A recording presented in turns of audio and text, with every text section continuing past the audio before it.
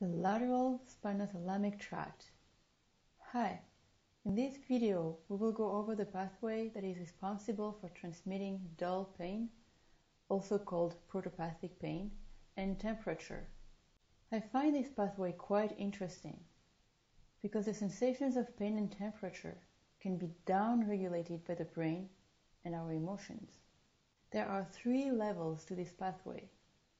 First level, the pathway starts with free nerve endings of the primary neurons. The axons of these neurons enter the spinal cord through the Lissauer's fasciculus.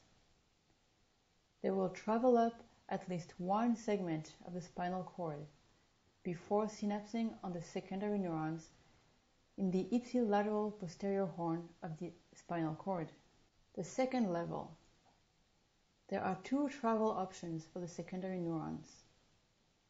Most axons will mostly travel up on the contralateral side, but some will travel up on the ipsilateral side. 1. Contralateral ascension. The secondary neurons send their axons across the midline before going up through the lateral spinothalamic tract until they reach and synapse on the ventral postlateral nucleus of the thalamus. At this point, there is already a sort of map in the lateral spinothalamic tract, in that axons from the lower parts of the body travel up more on the lateral side of the tract, whereas axons from the upper body travel up more on the inner side of the tract. Along the way, some secondary neurons send out branches that synapse in the reticular formation or in the periaqueductal gray. It's in these regions that pain sensations can be down-regulated by the brain.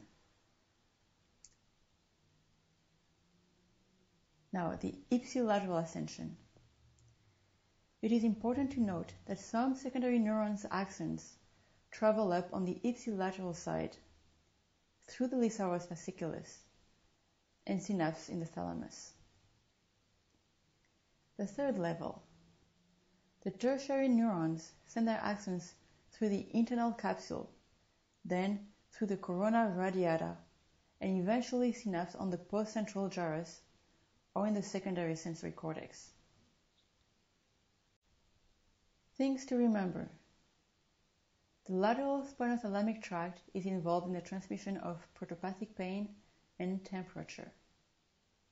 There are three synaptic levels at the dorsal horn of the spinal cord, in the thalamus, mostly in the ventral postlateral nucleus of the thalamus, and in the postcentral gyrus.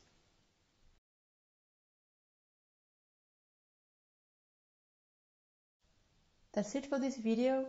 You can watch and download more neuroanatomy videos when you visit www.neurohabits.com.